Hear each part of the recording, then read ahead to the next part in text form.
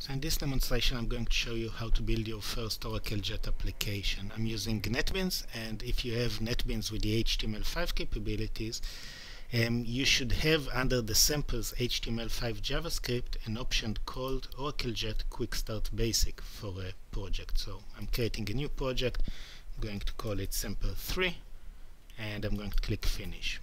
So what's actually happening now is that uh, NetBeans is downloading an Oracle Jet basic template from our site and creates a project for you.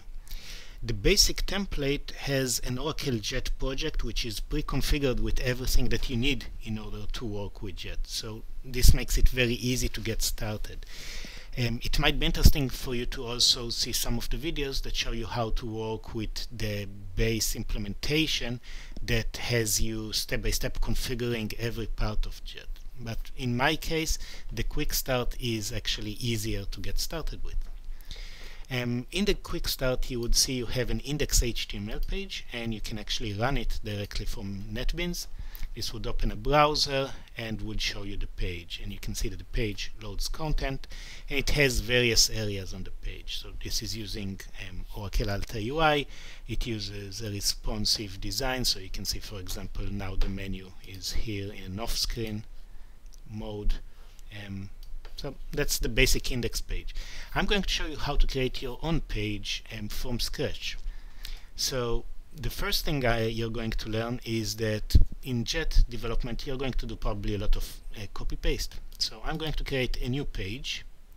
So at the top level we're going to create the Shay page and into this page I'm going to copy stuff that I need that is in the indexed page. So the first thing we're going to copy are two lines from the head section. Okay, um, It's going to be this line, which manages the Require JS dependencies. So copy this one, and again put it inside our area in the head. And then the other thing is I'm going to want to use the Alta UI uh, look and feel, so I'm going to copy this one as well. Okay, so this is a reference to a style sheet. Okay then of course do a reformat to get everything aligned correctly for you. Right, so now that you have those two parts, your page is connected to Require.js, and Require.js manages the whole dependencies and the module system inside Oracle Jet.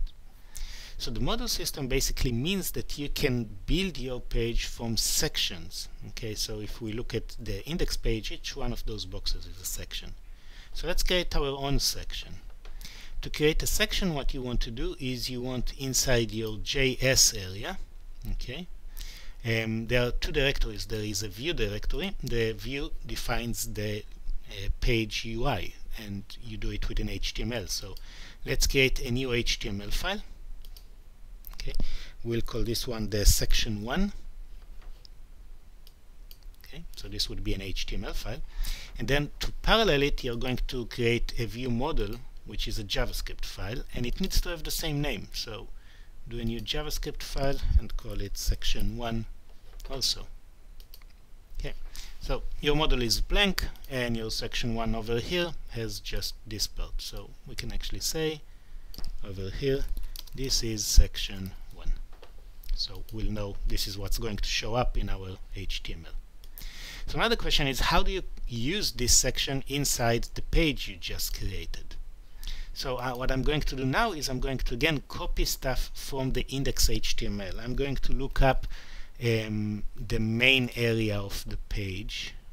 Okay, so if you scroll down you'll see a lot of uh, references to OJ modules. We're going to pick up the main content area. Okay, so this one. Just copy this line and paste it into Shay so just below this one and we're going to also close the div tag like that. Okay. So what you're seeing here is we're having an ID we can use a role if you don't need a role you can remove this one. Then we're using some style classes that would give us the look and feel for Alta and then we're referencing the name of an OJ module. So our module is actually not involving a router right now, it's just called section 1. So just update this to be section 1. it should turn into purple if you're with default look and feel and then you can run this page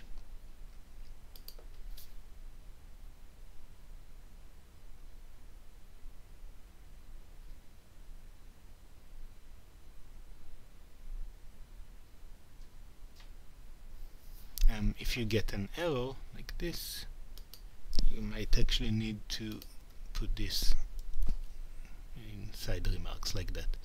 So now if you go to your page you'll see that your page shows up and it's going to say this is section 1 so this is basically the section that we built into the page right? so we can actually duplicate this. So if we copy this line you know, those two lines and create another instance and call this one main content 2 still references section 1 we save this. Now you have it twice on your page. So this is some level of reusability now.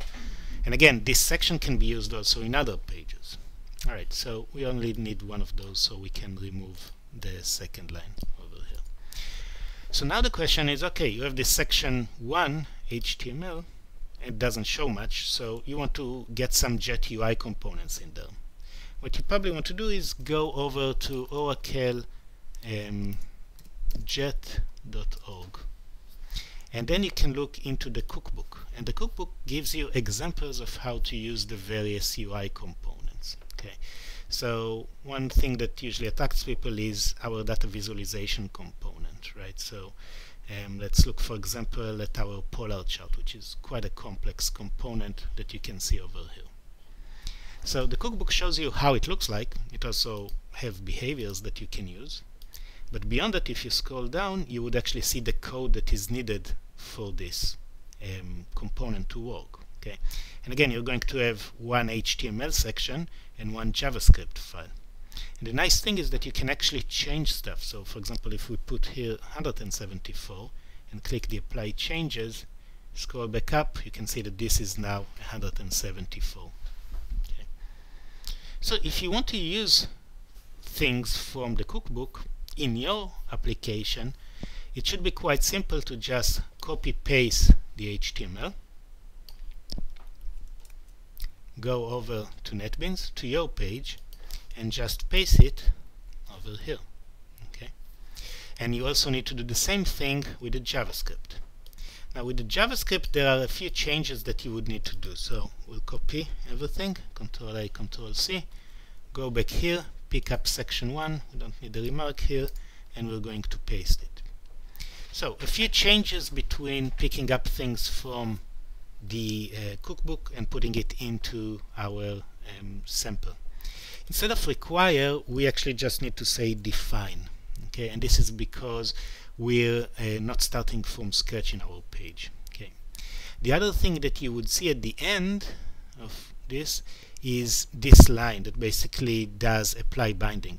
Again, you don't need this section, so this whole section you can remove it. Okay.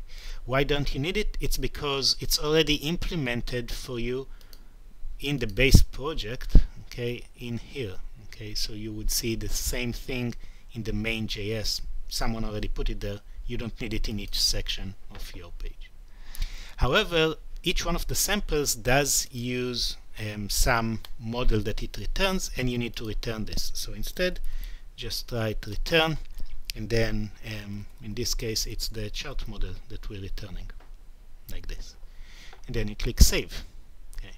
And then if you go and look back in your page hey you now have the same UI component in your section 1 with all the functionality available. And of course changing stuff inside here, okay, for example if we now change it to 274 and saving the changes would reflect again for you in your user interface. So this is how easy it is to actually start building your Oracle Jet application when you're using our quick start template, NetBeans, and our cookbook.